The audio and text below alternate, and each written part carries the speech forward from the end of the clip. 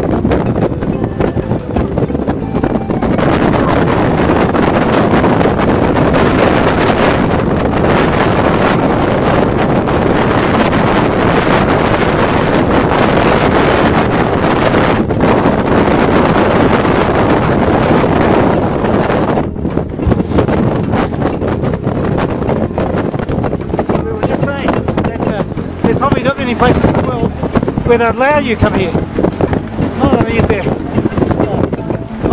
magma, lava, falling down here only uh, 30 metres away from us. Uh, but it's so windy and it's incredibly steep down here.